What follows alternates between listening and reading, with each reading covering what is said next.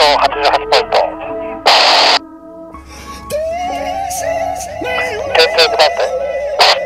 ちなみに最後のインクレートしてるそうですよ。そうですね、ちょっと届かなかったですね。やりすぎました。次はもっとやってやりますよ。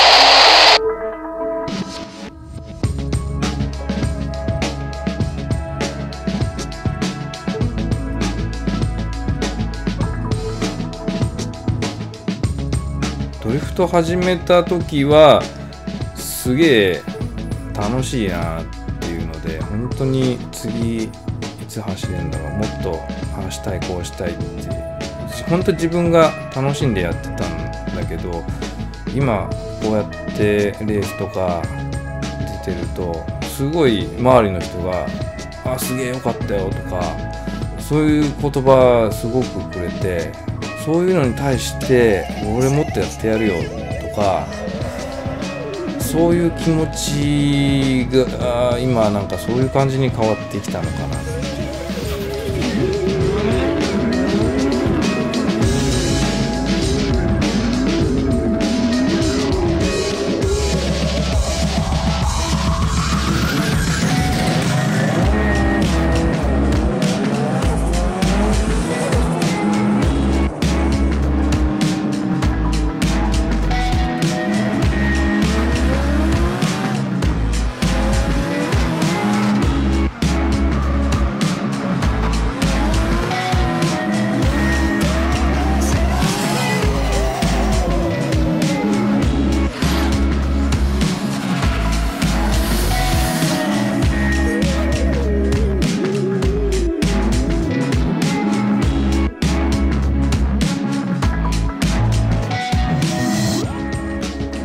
今現在の目標は、えーまあ、日本日本以外の国で自分の走りがどこまで通用するのかっていうのをやってみたいですね。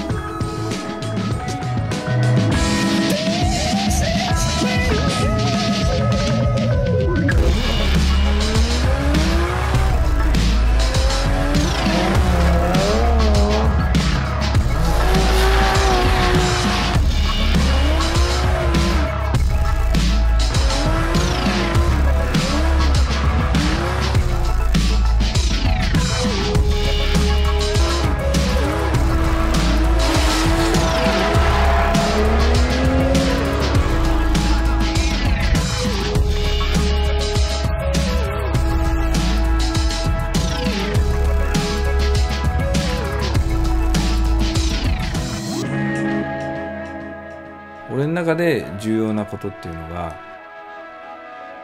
自分で作った車でそれで勝つ。